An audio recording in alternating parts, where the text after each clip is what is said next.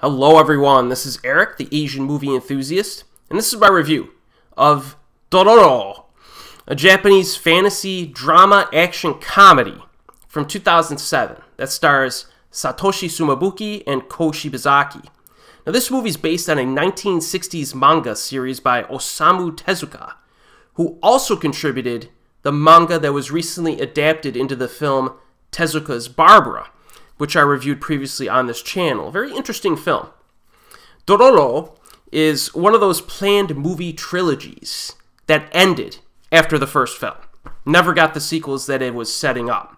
This is usually due to less than stellar box office performance, but I've never been able to confirm the specific reason for why this movie never got the two sequels that were planned.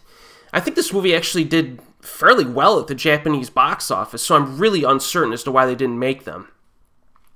But if any of you know, feel free to comment below and let me know. But uh, in any case, let's go through the Wikipedia plot synopsis. So, Dororo is a young woman assuming the identity of a man, despite others seeing through her brash and violent exterior. So, this girl's father was killed by a man named Daigo, when he attempted to call the warlord out. So the girl and her mother escaped into the wilderness, and at her mother's dying request, in order to carry out her father's insurmountable vendetta against Daigo, the child takes on a man's identity and grows up without a permanent home and becomes a thief. Meanwhile, our male lead here is a man by the name of Hyakkimaru, whose body was sold to demons by his birth father resulting in his lacking of 48 body parts. And you're probably wondering, well, how does this guy function without 48 body parts? Well, he survives because he is discovered by a master spellcaster who basically takes pity on him and replaces his missing body parts using deceased children using alchemy. So, yeah, uh, and this guy begins a quest to destroy the demons and regain the body stolen from him at birth. And these two characters meet and kind of go on this journey together. Now, it's been a long time since I've watched this movie, uh, but I did enjoy it as much as I did the first time I saw it back in the day.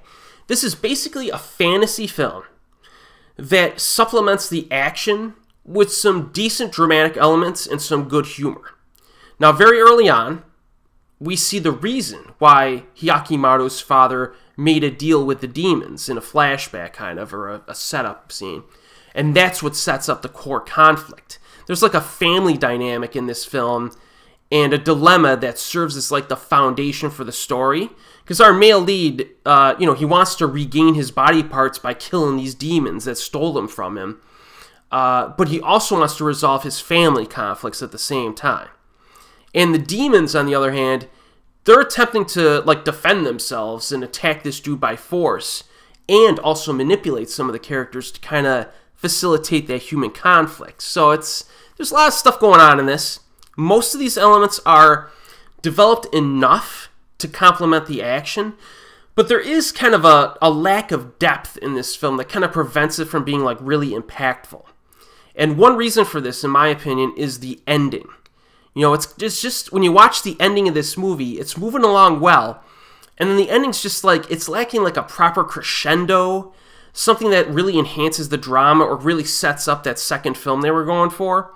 But it doesn't really do that. You know, the ending is it's pretty good, but it's one of like the least memorable scenes of the whole movie, and you don't want to you don't like that. you know, you want a movie to finish strong. I don't think this movie really finished strong. That's a little bit of a problem. But as I said previously, I do enjoy the film. The mood is a mix of like old school samurai flick, old school American fantasy, blended together with something like the Great Yokai War, with a few like really quirky, odd monster demon dudes that show up. And if that sounds good to you, watch the movie. There's like a delightful oddness about this one that uh, it makes it quite amusing. I mean, the opening scene has a talking rat you know, just to give you an idea. Uh, there's like this cave scene that like doubles as a dance club bar with like tribal dancers dancing. Uh, the body reconstruction scene where the you know our main character is a kid and his body's reconstructed using like these dead bodies. It's a pretty cool scene. And there's, uh, and then you'll have like random goofy monsters show up that this dude has to kill. But it's pretty neat stuff here, and the film takes itself seriously enough, so it kind of helps to balance out some of the more outlandish stuff that shows up. So I really kind of like the tone in this. Actually, it's a little bit different from your typical like fantasy flick. CGI is used rather heavily in this uh, for some of the fights, especially. But uh, like the different creative demons that show up kind of help to balance it out. There is some practical effects mixed in. And I will say, I don't know, the CGI in this movie did not bother me as much as as it usually would. Maybe that's because it's a fantasy film, and I could kind of uh, suspend my disbelief easier for a fantasy movie because it does get a little cartoonish in spots. But I I found it to be kind of good fun in its uh, execution for some reason.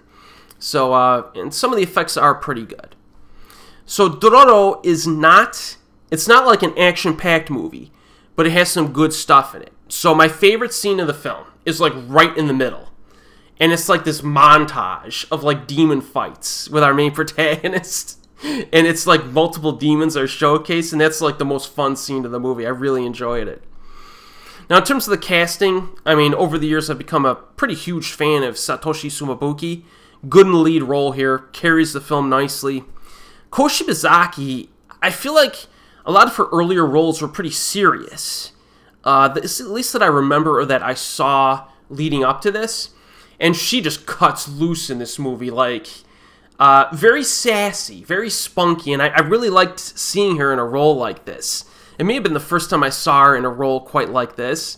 Uh, a lot of people know her from Battle Royale. She was like the evil chick in Battle Royale, right? She was like ruthless. But uh, in this one, she's like, she's kind of charming in kind of a, a, a sassy way. So I really liked her in this. The soundtrack in this movie is surprising. You know, it has like a tribal feel to it most of the time. Some instrumentation seems culturally specific to Japan, but then in some scenes, you have like this almost like Spanish vibe that kicks in. And I was like, what is this? And it was like, it was pretty fun how they like mixed up the sound, uh, the soundtrack in this. I liked it. They switched it up. Now, this does have a pretty long runtime. It's like two hours and 18 minutes, which, you know, isn't that long for a fantasy movie, ironically. But, uh, you know, I'd say the ending, if the ending was stronger, wouldn't be as much of a problem the ending's just kind of like I said drags a little bit. They go for a little bit more of a dramatic route instead of like a good good climax. But uh, yeah, this movie has enough oddities and entertaining aspects to keep it going. So if you're in the mood for like a Japanese fantasy film, little splash of quirkiness, check out Dororo. It's a, a shame the sequels were not made because I, I definitely would have watched them. Uh, but uh, yeah, this is most readily available on DVD, unfortunately. So but hey, if you could find it streaming somewhere, check it out. And as always, I will see you next time.